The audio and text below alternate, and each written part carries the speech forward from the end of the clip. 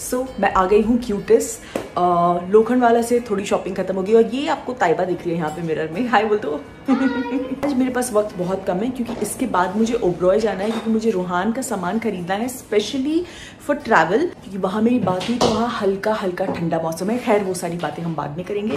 फ़िलहाल मैं करवा रही हूँ अपना लेगेसी तो जल्दी से स्टार्ट करते हैं क्योंकि उसको फोर्टी मिनट्स लगेंगे है ना?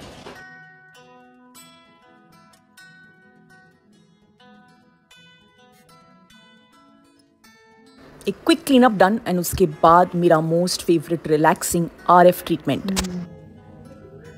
perfect लग रहा है बहुत प्यारा लग रहा है।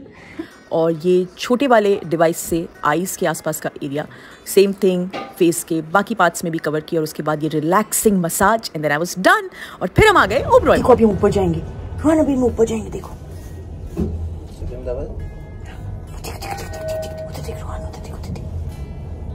हुई? नहीं देखना।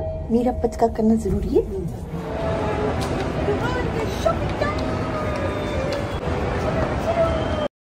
दीपिका लग गई है अपनी तैयारियों में, क्योंकि बहुत दिनों से उन्हें इंतज़ार था कि वो दुबई ट्रिप पे जाना चाहती थी और उन्होंने पासपोर्ट वगैरह सब तैयार करवा लिए हैं रूहान के साथ। ये पहला ट्रिप होगा शोएब और दीपिका का।